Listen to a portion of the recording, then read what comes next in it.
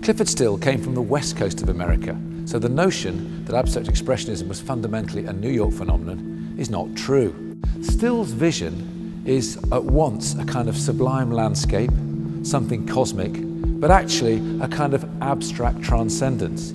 He talked about the notion of lifelines running through his paintings like energy fields.